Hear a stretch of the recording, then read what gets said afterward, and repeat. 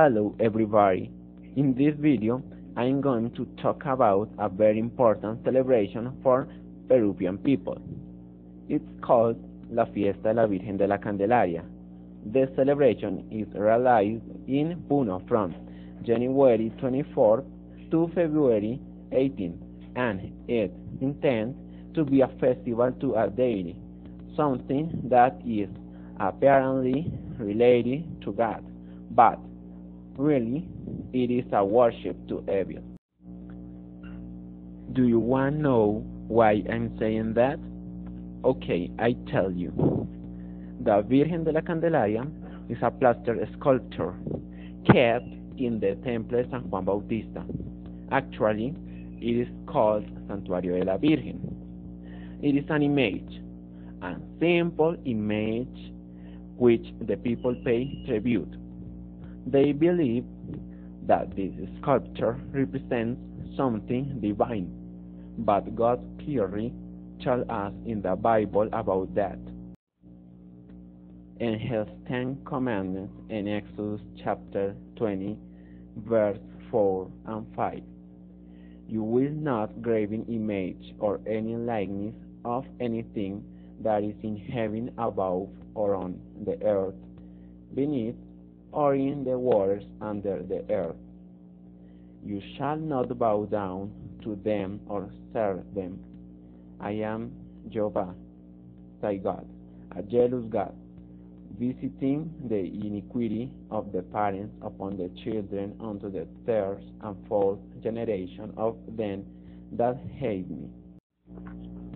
So, everything that happens in the celebration is against God's will. The people kneel before this image. They pay tribute.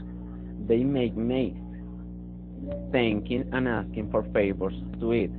They decorate it with flowers and they light candles. These people don't know how wrong have been.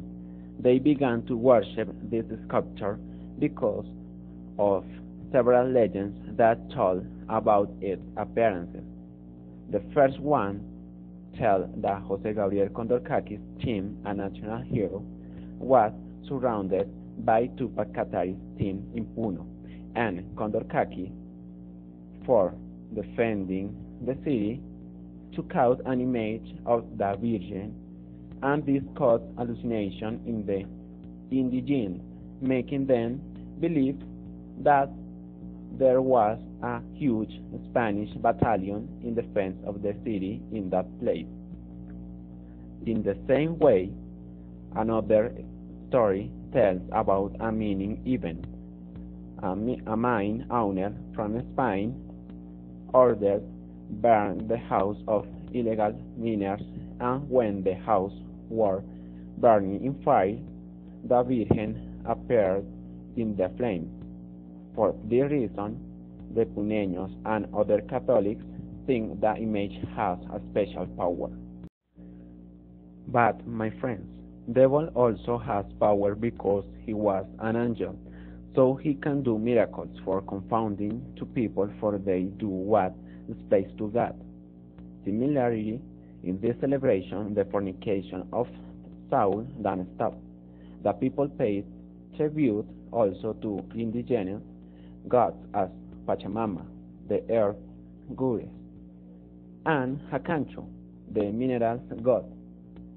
This is a big mistake because we, as Christians, know that worship other gods is something that Jehovah hates because he is the only God, and this festivity supposedly is Christian, and it still pays tribute to other divinities. Also, many artists as singer, dancer, actor, etc. come from different places of Peru for participating in different activities as parades, mazes, competition of music and dance, etc.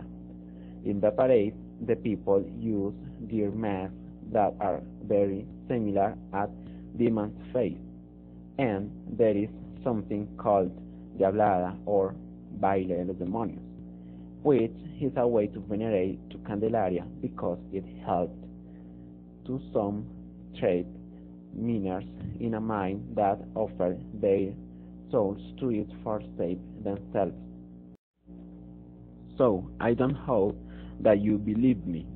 I just say that if you want to know the truth, study the Bible because in this you will find all answers to your questions. And you will know because idolatry is opposite to our God will. Thank you.